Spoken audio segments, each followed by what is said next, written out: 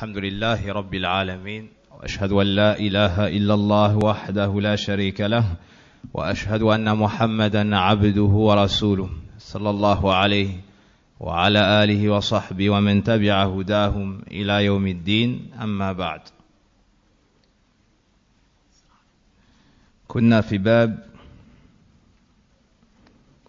فضل التوحيد وما يكفر من الذنوب. قال المؤلف رحمه الله تعالى وقول الله تعالى الذين امنوا ولم يلبسوا ايمانهم بظلم اولئك لهم الامن وهم مهتدون Donc nous étions dans le chapitre des mérites du tawhid et les péchés qu'il permet d'expier.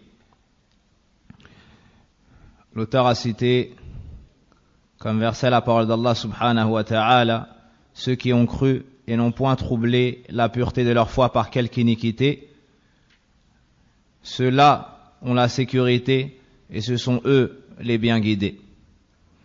L'iniquité voulue dans ce par ce verset, l'injustice, c'est ashirku billah, subhanahu wa ta'ala. Dans ce verset, il y a deux bienfaits du tawhid qui sont cités. La guidée et la sécurité.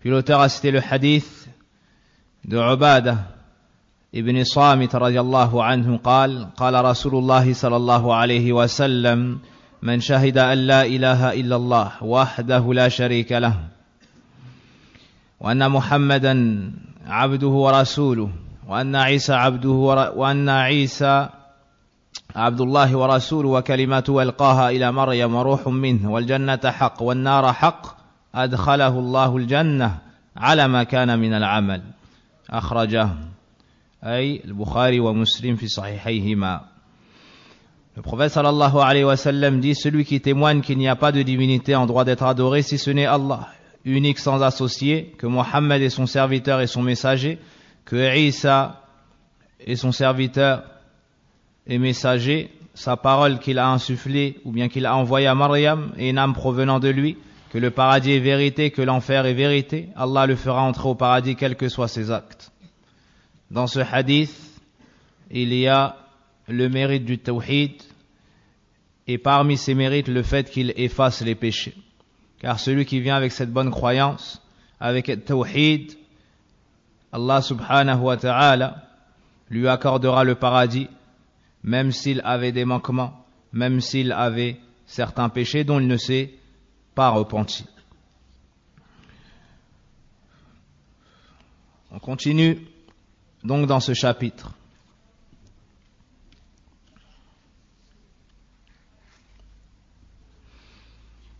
قال المؤلف رحمه الله تعالى ولهما في حديث عتبان فإن الله حرم على النار من قال لا إله إلا الله يبتغي بذلك وجه الله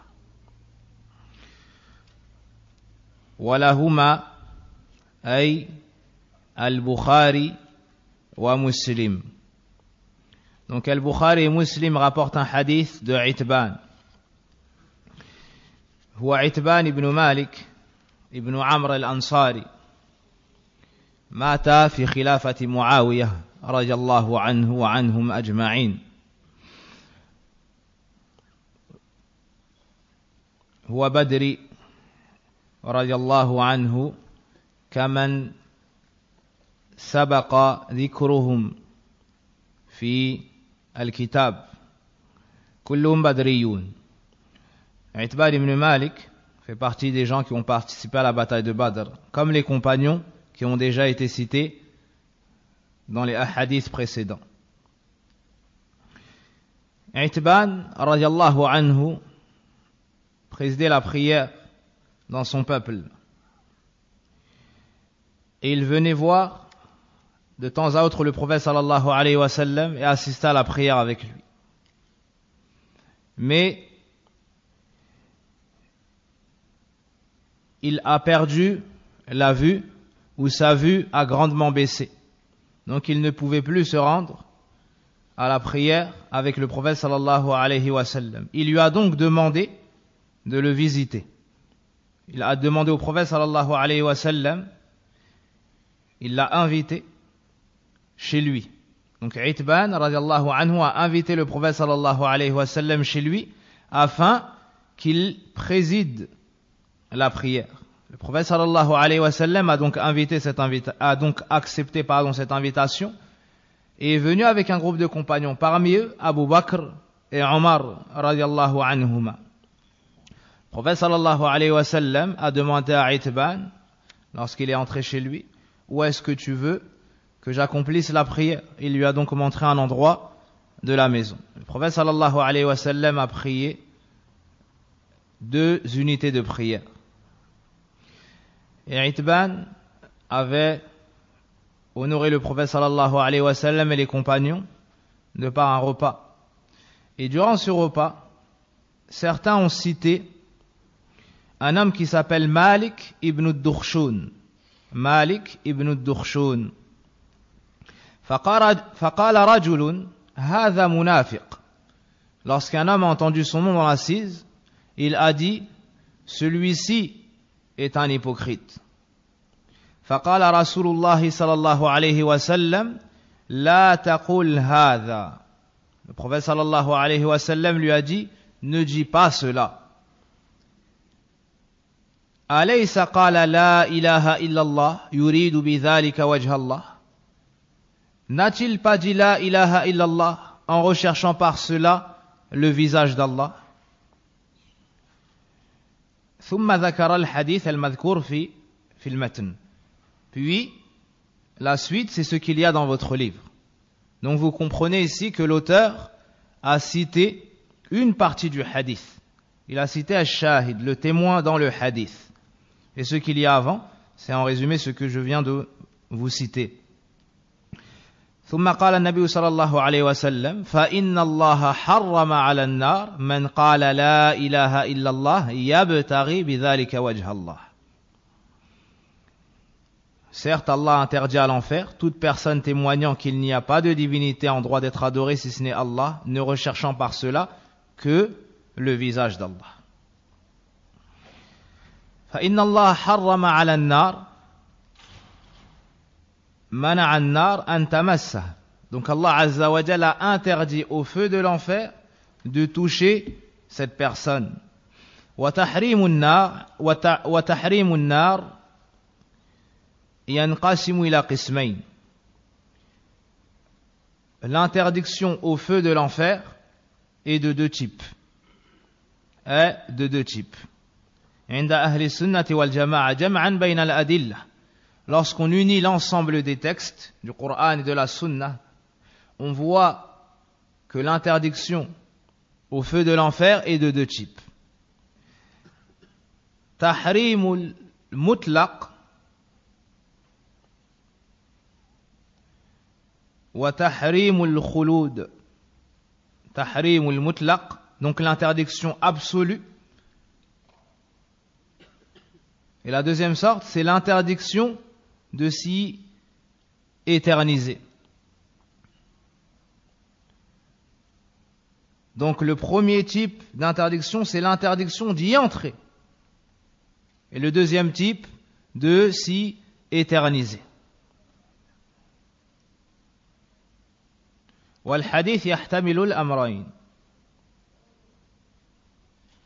Et les deux formes peuvent entrer dans ce hadith. فكمال التوحيد ينجي صاحبه من الدخول La perfection du tawhid empêche la personne d'entrer dans le feu de l'enfer. وقليله ينجي صاحبه من الخلود Et si il a du tawhid, même s'il a des manquements, alors ça l'empêchera de rester éternellement en enfer.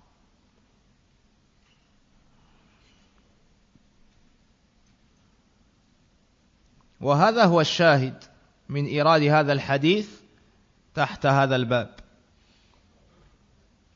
Et ce qu'on vient de citer est la sagesse pour laquelle l'auteur a mis ce hadith sous ce chapitre. Donc parmi les bienfaits du tawhid, le fait que ça empêche la personne d'entrer dans le feu de l'enfer ou de rester éternellement dans le feu de l'enfer.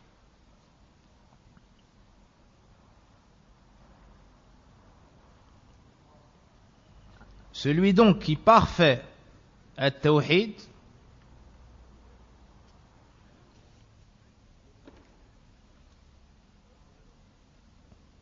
n'entrera jamais dans le feu de l'enfer. Et celui qui meurt avec un peu de tawhid ne restera pas éternellement en enfer s'il y rentre. S'il y entre. إذن فإن الله حرم على النار من قال لا إله إلا الله في عموم القائل إذا جاء بشروطها donc Allah a interdit à l'enfer toute personne, donc cela est général, que ce soit un homme, une femme, toute personne témoignant qu'il n'y a pas de divinité en droit d'être adorée si ce n'est Allah. Donc toute personne ayant prononcé l'attestation de foi avec ces conditions aura cette récompense aura cette récompense. Et parmi ces conditions, ce que nous cite ici le prophète sallallahu alayhi wa sallam, yabtari bidhalika wajh Allah. Ay mukhlisan biha qalbuh. Donc celui qui recherche le, par cela le visage d'Allah, c'est celui qui est sincère. C'est celui qui est sincère. ومن قالها مخلصا بها قلبه سعى إلى مطلوبه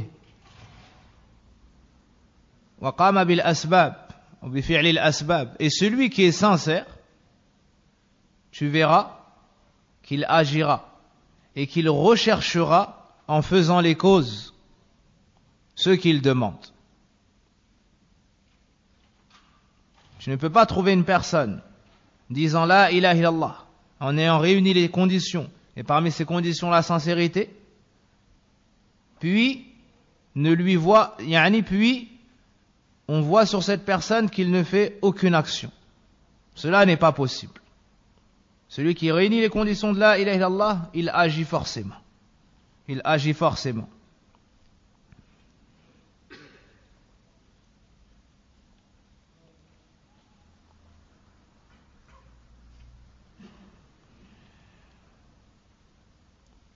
وفي رواية للحديث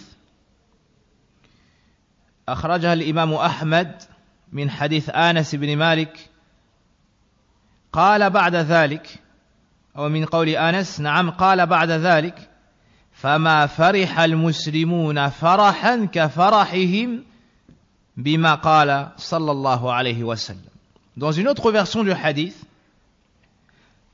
après ce qu'on a cité ici, Anas ibn Malik, cette version-là, l'imam Ahmed la rapporte, Anas ibn Malik a dit Les musulmans ne se sont jamais réjouis comme ils se sont réjouis après avoir entendu la parole du prophète sallallahu alayhi wa sallam. Les musulmans n'ont jamais été heureux comme ils l'ont été de par la parole qu'a dit le prophète sallallahu alayhi wa sallam. Ce jour-là, yawma'id. مناسبة الحديث للباب التوحيد من فضله تحريم صاحب تحريم صاحبه على النار Donc parmi les bienfaits, pourquoi est-ce que l'auteur a cité ce hadith dans ce chapitre Car parmi les bienfaits du tawhid, le fait qu'on lui qu'on l'empêche d'entrer dans le feu de l'enfer. l'adepte du tawhid sera préservé d'entrer dans le feu de l'enfer. Et s'il y entre, dû à ses manquements dans le tawhid, alors il n'y restera pas éternellement. Ma yustafadu min al-hadith, ce que nous pouvons tirer du hadith, fadlu al-tawhid, وأنه ينجي من النار وأنه يكفر الذنوب de ce hadith on tire les mérites de l'unicité d'Allah subhanahu wa ta'ala il préserve du feu de l'enfer et il efface les péchés. Il efface les péchés. ومن فوائد هذا الحديث لا يكفي في الإيمان مجرد النطق من غير اعتقاد بالقلب de ce hadith on tire que ça ne suffit pas dans la foi de prononcer la parole sans croyance. Dans l'iman, dans la foi, il ne suffit pas de prononcer une parole, mais il faut également avoir la conviction dans son cœur. Contrairement à ce qu'on fait le munafiqoun. Contrairement à ce qu'on fait le munafiqoun. Ils ont prononcé l'attestation de foi, mais le cœur vide de toute croyance. Alors Allah Azza wa a rejeté leur témoignage. Wallahu ya'lamu innaka la rasul wallahu yashhadu innal munafiqina lakathibun. Allah Azza wa les a démentis dans suratul munafiqun. Allah témoigne que les hypocrites sont des menteurs. Donc tu viens avec cette parole et tu la prononces. Et cette parole est en concordance avec la croyance que porte ton cœur.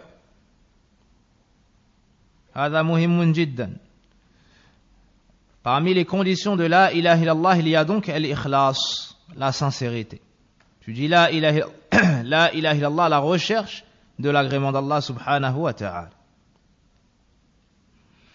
ومن فوائد هذا الحديث لا ينفع من العمل يوم القيامة إلا ما كان خالصا لوجه الله الكريم On tire de ce hadith que le jour du jugement dernier ne sera profitable que ce que nous avons fait sincèrement pour Allah. Le jour du jugement dernier ne sera profitable que les actions faites sincèrement pour Allah tabaraka wa ta'ala à la recherche de son agrément. ومن فوائد هذا الحديث إثبات صفة الوجه لله سبحانه وتعالى de ce hadith une grande faïda qu'on peut tirer l'affirmation d'un attribut d'Allah subhanahu wa ta'ala al-wajh le visage de ce hadith on tire qu'Allah subhanahu wa ta'ala a parmi ses attributs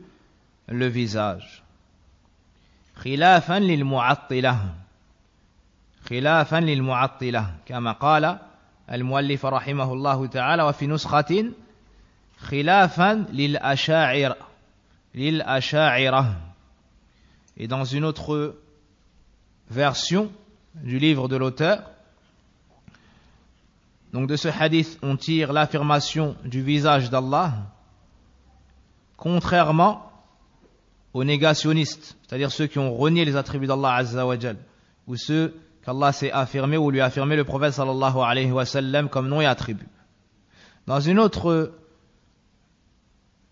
version du livre de l'auteur, contrairement à la secte de Al-Asha'ira. Al-Asha'ira. Ces gens-là ont affirmé les noms d'Allah subhanahu wa ta'ala et ont rejeté ses attributs, excepté sept, car ils ont pu les affirmer avec leur raison. Et ils ont beaucoup d'autres contradictions avec la voix du prophète sallallahu alayhi wa sallam. ونستفيد من هذا أي من صنيع المؤلف رحمه الله تعالى نصح أو نصح المؤلف للمسلمين بالتحذير من أهل البدع والمخالفين Et de cela, tu vois la voix des gens de science et des réformateurs, car ici l'auteur conseille les musulmans en les mettant en garde contre la voix de tous ceux qui ont contredit la sunna du prophète sallallahu alayhi wa sallam. Et parmi eux, ceux qui ont renié des noms bien des attributs d'Allah Azza wa Jal.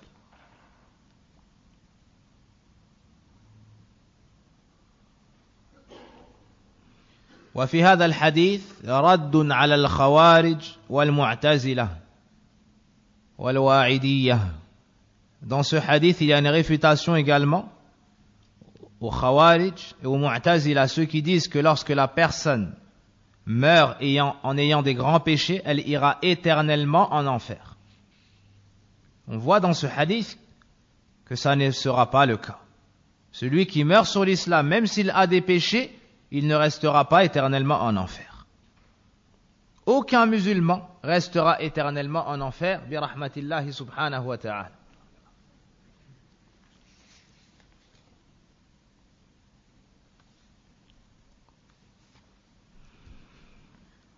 وفيه أيضا رد على المرجئة الذين اقتفوا بالقول في مسألة الإيمان Il y a également dans ce hadith une réfutation à Al-Murji'ah. Ceux qui parmi eux ont dit qu'on se contente pour définir la foi de dire que c'est une parole. Et on voit dans ce hadith que ça ne suffit pas la parole, mais il faut aussi la croyance. Et en unissant les textes, on voit que l'iman, qawlun bil lisan, wa atiqadun bil janan, wa amalun bil arkan, yazidu bi ta'ati rahman, wa yanqusu bi ma'asiyatih, wa ta'ati shaitan. La foi, c'est une parole sur la langue, une croyance dans le cœur, et des actions avec les membres. Celle-ci augmente avec l'obéissance du tout miséricordieux, et diminue avec sa désobéissance. Voici la définition de la foi عند أهل السنة والجماعة. Voici pour ce hadith. Le hadith suivant عن أبي سعيد الخدري رضي الله عنه عن رسول الله صلى الله عليه وسلم قال قال موسى يا ربي علمني شيئا أذكرك وأدعوك به قال قل يا موسى لا إله إلا الله. قال يا ربي كل عبادك يقولون هذا. قال يا موسى لو أن السماوات السبع وعامرهن غيري والأرض والأراضين السبع في كفة ولا إله إلا الله في كفة مالت بهن لا إله إلا الله. رواه ابن حبان والحاكم وصححه. عن أبي سعيد الخدري وساعد ابن مالك ابن سنان الخدري الخزرجي. هو صحابي ابن صحابي رضي الله عنهما. أبو سعيد سأبل سعيد ابن مالك ابن سنان c'est un صحابي de la tribu de الخزرج chez les Ansars et son père également est un sahabi. Donc lorsque tu cites un sahabi, tu demandes à ce qu'Allah Azzawajal l'agrée. Tu dis radiallahu anhu. Mais dans le cas où ce dernier est un sahabi et que son père également est un sahabi, tu invoqueras pour lui ainsi que son père en mettant la particule au duel en disant donc ou le damir radiallahu anhuma qu'Allah les agrée tous deux.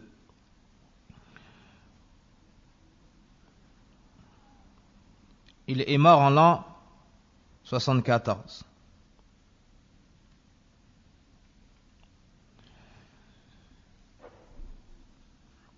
L'auteur nous dit que ce hadith est rapporté par Ibn Hibban et par le Hakim et que le Hakim l'a jugé comme étant authentique وكذا النسائي في الكبرى والطبراني وابو نعيم وغيرهم d'autres l'ont également rapporté ce hadith من طريق دراج ابن سمعان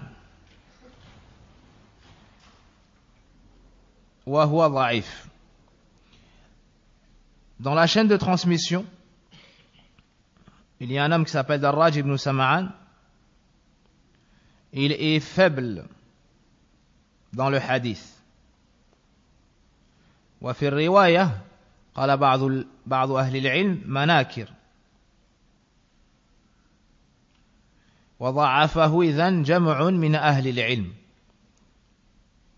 Donc, il y a des gens de science qui ont jugé ce hadith comme étant faible. وإن كان قد صححه العلامة ابن حجر في الفتح رحمه الله تعالى. ويغني عنه ما أخرجه أحمد رحمه الله تعالى في قصة نوح مع أبنائه لما أوصاهم عند الوفاة. آمروا قال لهم آمرهم بآمركم بلا إله إلا الله.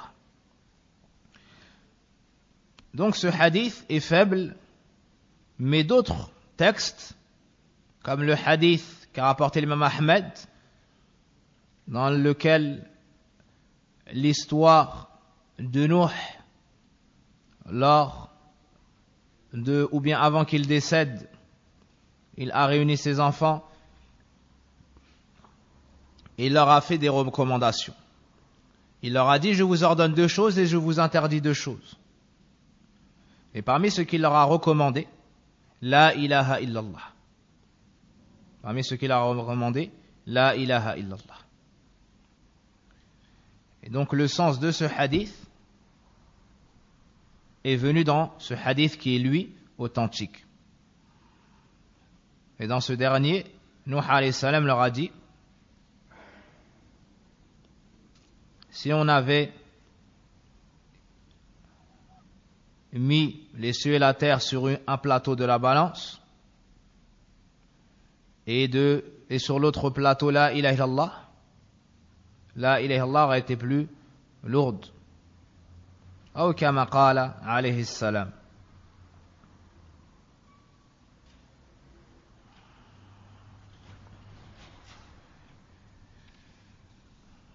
Quant au sens, donc Moussa, alayhi salam, Nabiullah wa Rasuluh wa Kalimuh, c'est le prophète et messager d'Allah subhanahu wa ta'ala, et celui qui a parlé avec Allah tabaraka wa ta'ala, comme cela est connu dans le Coran. Ici, il dit Ya Rabbi, allimni shay'an adhkuruka wa ad'uka bik. Adhkuruk ay uthni alayka wa ahmaduka bih. وأدعوك به أي أتوسل به إليك إذا دعوتك Donc, selon Abu Sa'id, le prophète sallallahu anhuma, le prophète sallallahu alayhi wa sallam a dit, Moussa a dit, Ô mon Seigneur, enseigne-moi une chose par laquelle je te mentionnerai, c'est-à-dire je proclamerai et ferai tes éloges. Et par laquelle je t'invoquerai, c'est-à-dire avec laquelle je pourrais faire et tawassul. Donc citer cela afin que ce soit une cause pour que tu exauces mon, mon invocation, ma demande. Allah a dit, dis ô Moussa qu'il n'y a pas de divinité en droit d'être adoré si ce n'est Allah. Dis la ilaha illallah. La ilaha illallah, un dhikr mutadamminun lid-du'a. C'est un qui contient en même temps l'invocation. Car celui qui prononce cela recherche à travers cette parole l'agrément d'Allah, il entre au paradis.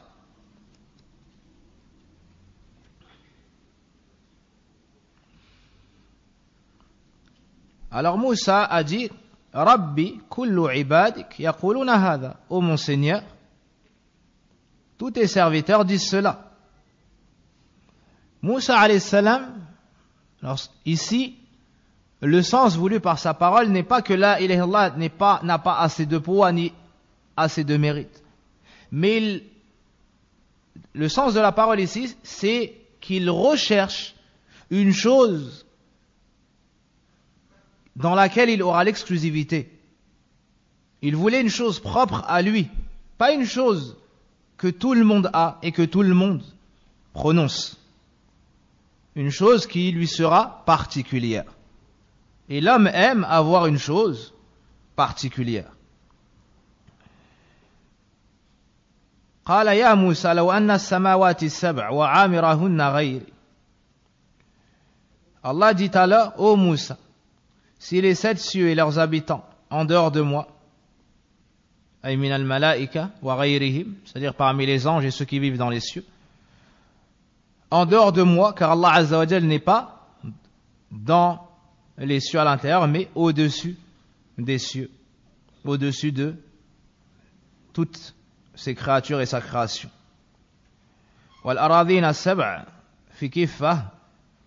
ainsi que les sept terres.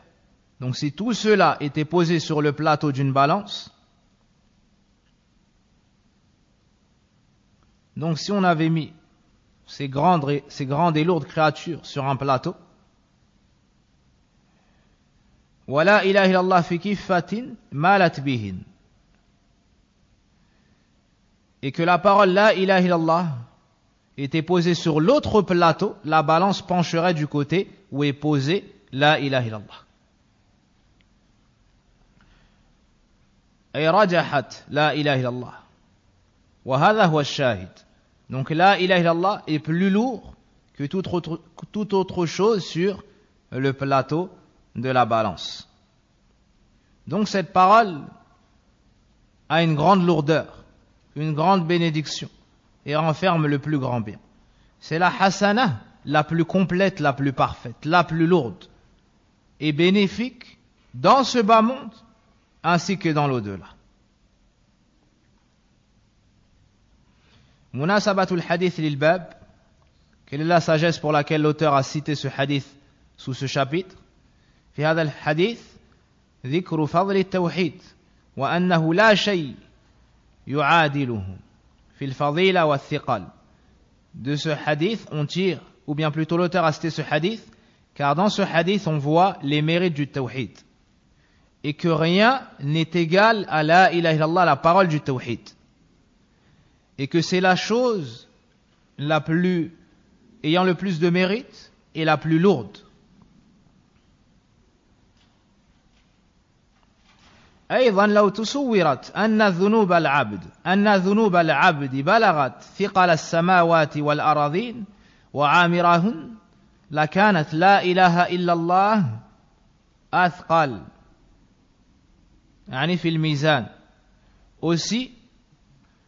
car donc l'auteur a cité également ce hadith ici car si on avait imaginé que les péchés d'un serviteur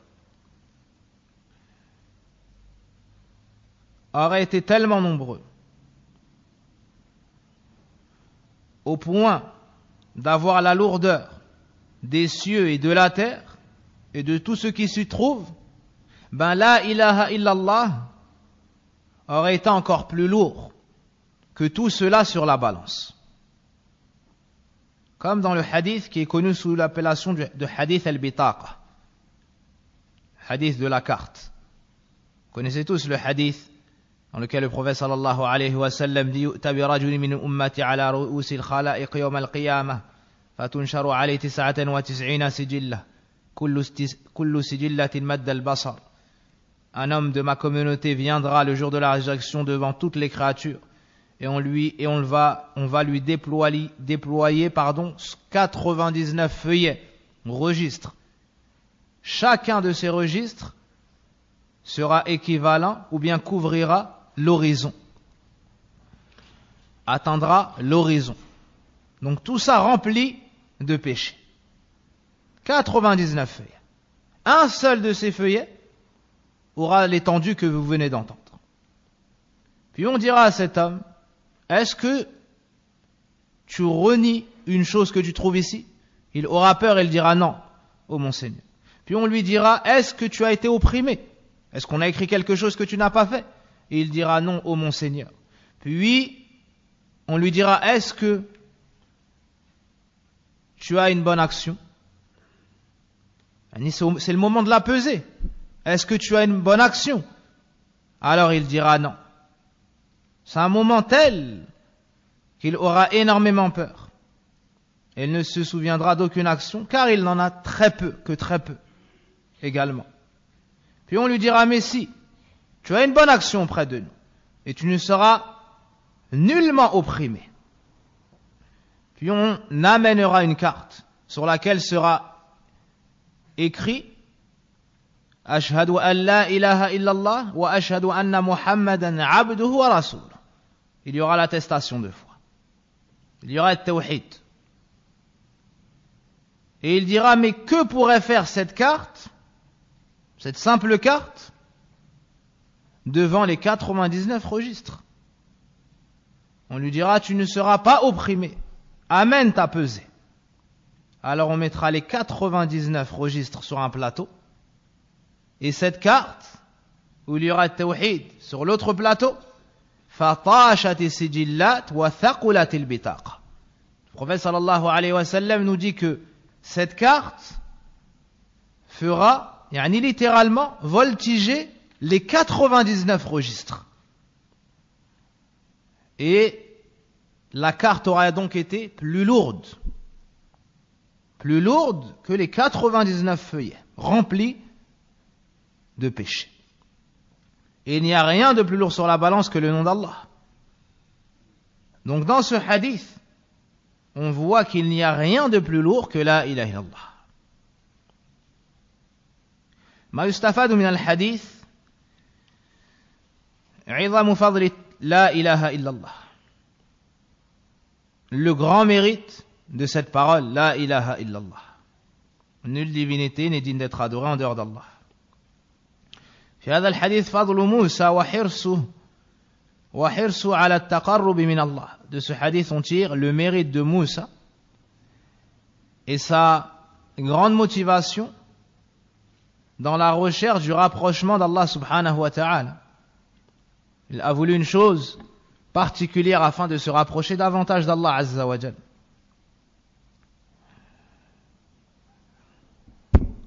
فائدة لطيفة العبادة تكون بما شرعه الله فلا يجوز الابتداع on tire de ce hadith que l'adoration se fait avec ce qu'Allah nous a légiféré. Il y a donc ici l'interdiction d'innover dans la religion d'Allah. Subhanah. في هذا الحديث إثبات علو الله تبارك وتعالى على خلقه De ce hadith, on tire qu'Allah Azza wa Jal est élevé au-dessus de ses créatures.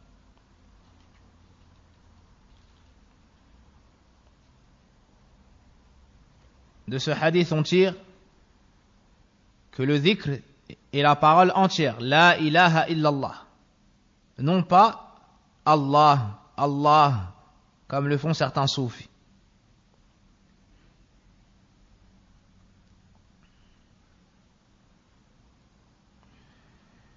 في هذا الحديث الأنبياء يحتاجون للتنبيه على فضل لا إله إلا الله même les prophètes sont dans le besoin du rappel de la ilaha illallah plutôt des mérites de la ilaha illallah عدد السماوات والأراضين سبع on tire également du hadith que le nombre des terres. Il qu'il y a sept terres et qu'il y a sept cieux.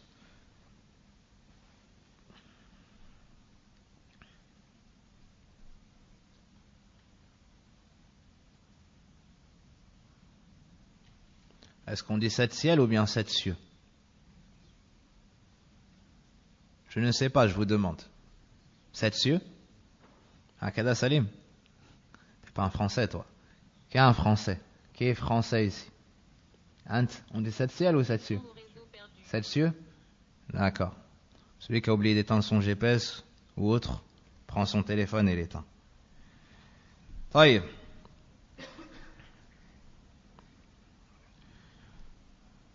وللترمذي وحسنه عن آنس عن آنس عن انس رضي الله عنه سمعت رسول الله صلى الله عليه وسلم يقول قال الله تعالى يا ابن آدم لو أتيتني بقراب الأرض خطايا ثم لقيتني لا تشرك بي شيئا فاتيتك بقرابها مغفرة. الترمذي rapporte un hadith qu'il a jugé comme étant bon que Anas رضي الله عنه a dit j'ai entendu le prophète j'ai entendu le d'Allah. Vous corrigez, j'ai entendu le messager d'Allah, sallallahu alayhi wa sallam, dire, Allah, le Très-Haut a dit, c'est donc un hadith Qudusi, un thème divin, ô fils d'Adam, ô fils d'Adam, si tu viens vers moi avec l'équivalent de la terre en péché et que tu me rencontres sans rien m'associer, je viendrai vers toi avec autant de pardon. إذن وللترمذي وحسنه عن آنس هو آنس بن مالك ابن نضر الأنصاري الخزرجي خادم رسول الله صلى الله عليه وسلم. خدمه عشر سنين. دعا له النبي صلى الله عليه وسلم. قال اللهم أكثر ماله وولده وأدخله الجنة. وهو ابن أم سليم. رضي الله عنها Donc ce compagnon se nomme Anas ibn Malik ibn Nadr. Ça, il fait partie des Ansar de la tribu de Khazraj. Et c'est le, il a été au service du prophète sallallahu alayhi wa sallam pendant dix années. Umm Sulaym, une femme très connue, très pieuse, est venue avec son fils Anas, alors que c'est encore un enfant, devait avoir dix ans environ, et lui a dit au messager d'Allah, voici mon fils Anas, qui sera désormais à ton service. Elle a mis Anas ibn Malik au service du prophète sallallahu alayhi wa sallam. Regarde la baraka de la femme pieuse. Pourquoi est-ce qu'elle a mis son, a mis Anas au service du prophète sallallahu alayhi wa sallam? Hein? Comme ça, il va être éduqué par la meilleure créature. Il va apprendre de la meilleure créature, du plus savant. Il va prendre le comportement de la meilleure créature, du plus savant, du plus pieux. Wahakada. Subhanallah. Anas ibn Malik a été au service du prophète sallallahu alayhi wa sallam pendant dix ans. Il nous dit, j'ai servi le prophète sallallahu alayhi wa sallam pendant dix ans. Il ne m'a jamais dit d'une chose que j'ai faite, pourquoi est-ce que tu as fait ça? Ou d'une chose que je délaissée, pourquoi est-ce que tu n'as pas fait ça? Pendant dix ans. Ça montre quoi? Deux choses. Ce qu'on aurait tendance à ne pas oublier, c'est quoi? Ça montre la perfection dans le comportement du prophète sallallahu alayhi wa sallam. Mais ici, j'attire votre attention sur une chose à laquelle on a tendance à ne pas penser. Ça nous montre également que Anas ibn Malik a été de la meilleure façon au service du prophète sallallahu alayhi wa sallam. Parce que pendant dix ans, si tu sers quelqu'un et qu'il te fait aucune reproche, c'est aussi parce que tu as fait ton, tu as mis en ta amada, tu as été à son service et que tu l'as servi, na'am, de la meilleure façon. Le prophète sallallahu alayhi wa sallam a fait dua pour lui en disant, oh Allah, fait, fructifier ses richesses, ou bien fait qu'il soit riche, accorde-lui beaucoup d'enfants et fais-les entrer au paradis. Anas ibn Malik a eu plus de 100 enfants. Il en a enterré de ses propres mains en grand nombre.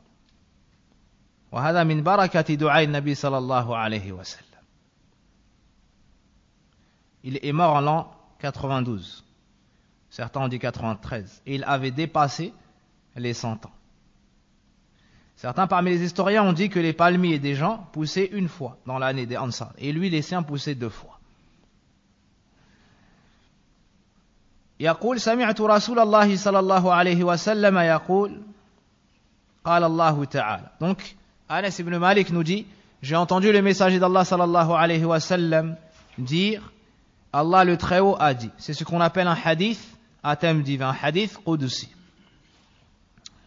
هو ما رواه النبي صلى الله عليه وسلم عن الله من غير القرآن c'est ce qu'a rapporté le prophète sallallahu alayhi wa sallam d'Allah sans que cela ne fasse partie du Coran. Sans que cela ne fasse partie du Coran. C'est ce qu'on appelle un hadith قدسي. وأدخله المحدثون في الأحاديث النبوية لأنه منسوب إلى النبي صلى الله عليه وسلم تبليغا Pourquoi est-ce que les savants ont donc fait entrer les hadiths qudsiya dans les livres de hadith, dans les recueils de hadith, alors que les hadiths sont les paroles du prophète sallallahu alayhi wa sallam. Car ça a été annexé au prophète sallallahu alayhi wa sallam, car c'est lui qui nous a transmis cela. Car c'est lui qui nous a transmis cela.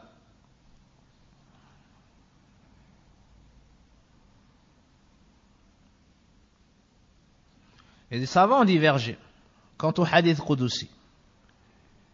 هل اللفظ والمعنى معا من الله أم المعنى دون اللفظ Est-ce que le sens et les mots sont d'Allah subhanahu wa ta'ala ou l'essence mais le mais la, euh, plutôt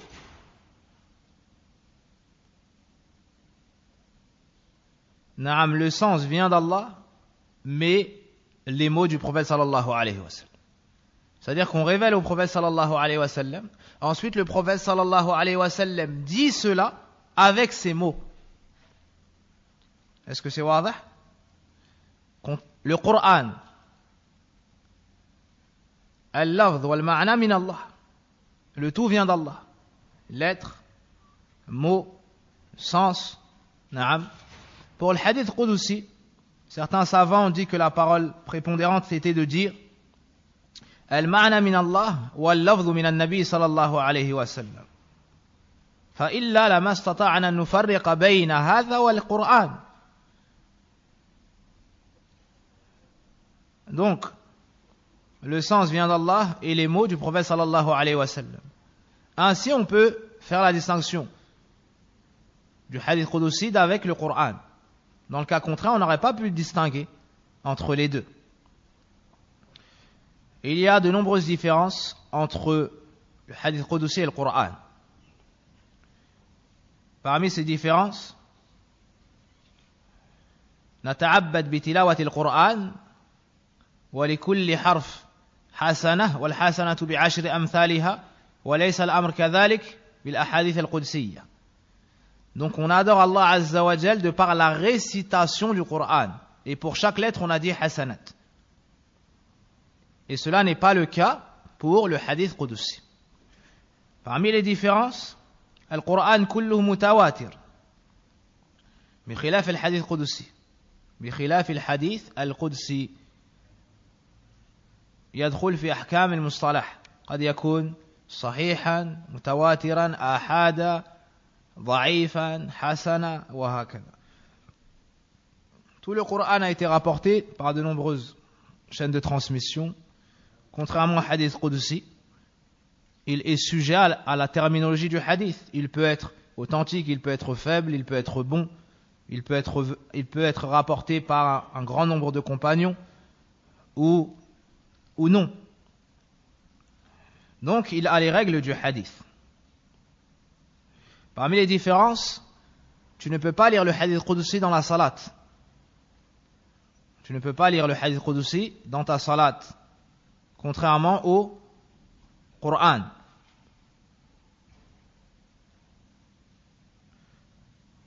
Tu peux rapporter le hadith Qudusi selon le sens rapproché, comme c'est le cas dans les hadiths. Contrairement au Coran, tu ne peux pas rapporter le Coran selon le sens rapproché.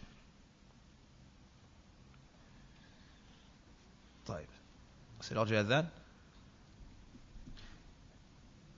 Dans ce, passage, l'auteur, rahimahullah ta'ala, a cité Mahallu Shahid. Il n'a pas cité tout le hadith. Une fa'ida, ce hadith est le dernier hadith de l'Arba'in Nawawiyya. Ce hadith est le dernier hadith de l'Arba'in Nawawiyya, du livre des 40 hadiths de l'imam al-Nawawi. Il y a combien de hadiths dans, le recueil de l'imam An-Nawawi Les 40 hadiths de l'imam An-Nawawi, il y en a combien, Adam? Comment? 40 C'est un piège. Qu- 42, Allah sallahu.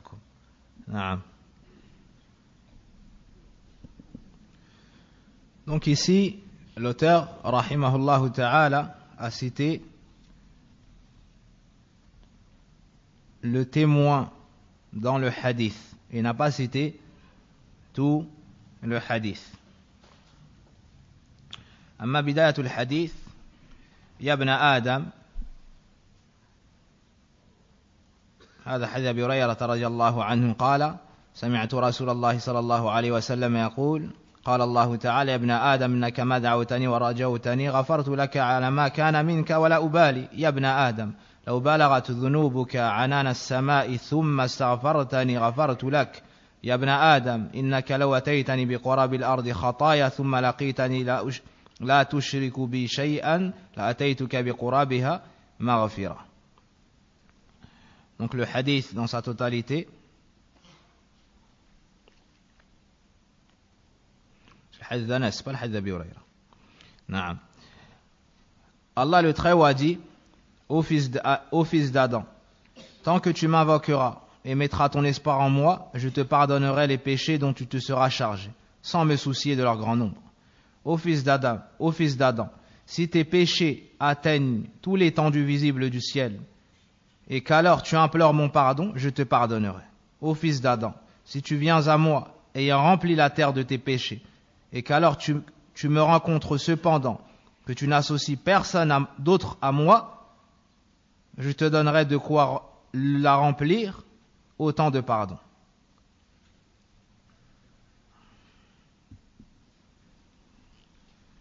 Ya ibn Adam, law ataytani, ay ba'da al-maut, au fils d'Adam, si tu venais à moi, c'est-à-dire après la mort, yawm al-qiyamah, yawm al-qiyamah, bi qurab al-ardi khataya, qurab ay mil, ملؤها أو ما يقارب ملئها, ملئها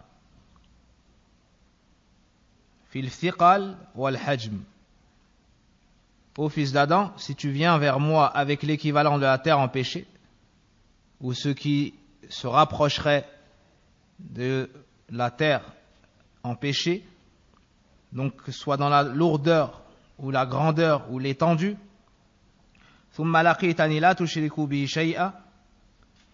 et que tu me rencontres sans rien m'associer,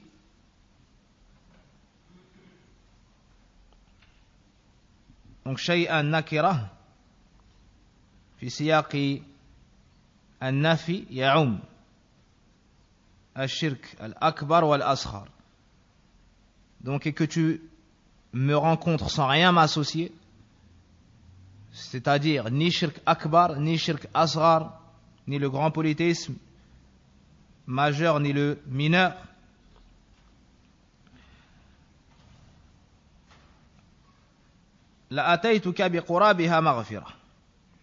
Donc je viendrai vers toi avec autant de pardon. المغفرة المغفرة هذه المادة تدل في أصل على الستر والوقاية Donc غفر à la base ce mot indique fait de cacher une chose et de la préserver. ومنه المغفار Par exemple, el mirvar, le casque qu'on porte dans la guerre, car ça cache la tête et ça la préserve des coups. وشرعا تجاوز الله عن خطايا وذنوب عباده. Ce fait qu'Allah subhanahu wa ta'ala cache يعني ستر الله وتجاوز c'est le fait qu'Allah azza wa jal cache les péchés de son serviteur et lui efface cela. Donc, dans, lorsque tu dis astaghfirullah, il y a plusieurs choses. Tu demandes à Allah, premièrement, qu'il te cache tes péchés. Deuxièmement, qu'il te les efface. Troisièmement, la notion de wiqaya, qu'il te préserve des effets néfastes découlant de la désobéissance, car les péchés ont des effets sur le, sur le serviteur, dans son cœur, ses membres, sa subsistance et autres. Donc dans ce hadith, on nous montre l'étendue de la miséricorde d'Allah, de sa bonté, de son grand pardon, subhanahu wa ta'ala. Et quel que soit le nombre de tes péchés, tant que tu te préserves du shirk, Allah subhanahu wa ta'ala te pardonnera. مناسبة الحديث للباب فضل التوحيد وأنه سبب لتكفير الذنوب. Donc dans ce hadith, on voit clairement que le tawhid est une cause pour qu'Allah subhanahu wa ta'ala te pardonne tes péchés. ما يستفاد من الحديث donc ce qu'on tire du hadith فضل التوحيد وكثرة ثوابه les mérites du tawhid et la multitude de, bienfaits découlant du tawhid.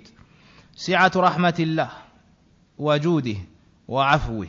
On voit la grande miséricorde d'Allah, sa grande générosité et son grand pardon. Fi rad ala al-khawarij wal mu'tazila. Il y a une réfutation pour, contre al-khawarij et al-mu'tazila qui disent que celui qui meurt avec des grands péchés ira en enfer éternellement. De ce hadith, on voit que c'est faux Celui qui meurt, même s'il a des grands péchés, tant qu'il meurt sur le tawhid, sa place finale sera au paradis. في هذا الحديث إثبات صفات الكلام لله. De ce hadith, on tire l'affirmation de la tribu d'Allah qui est la parole. Allah parle comme il le veut, quand il le veut, à qui il le veut, subhanah. في هذا الحديث شرط صحة التوحيد وهو ترك الشرك de ce hadith on tire que la, condition d'authenticité du tawhid est le fait de délaisser le shirk. Ça ne suffit pas de dire la ilaha Allah. Il faut délaisser le polythéisme. De ce hadith, on tire l'affirmation de la résurrection et du jugement. Donc le tawhid est la plus grande chose qui efface les péchés. Plus encore, les ulama ont dit que. Le tawhid, c'est une hasana tellement immense qu'elle efface plus les péchés que le repentir. Que le repentir. Donc on s'arrête là. Et on continue, Inch'Allah, le prochain chapitre, demain. بإذن tabaraka wa ta'ala. As'alullah بأسمائه الحسنى وصفاته العلى أن يفهمنا التوحيد ويجعلنا من أهل التوحيد ويجعلنا ممن حقق التوحيد. وصل اللهم وبارك على نبينا محمد وعلى آله وصحبه أجمعين. سبحانك اللهم وبحمدك أشهد أن لا إله إلا أنت أستغفرك وأتوب إليك.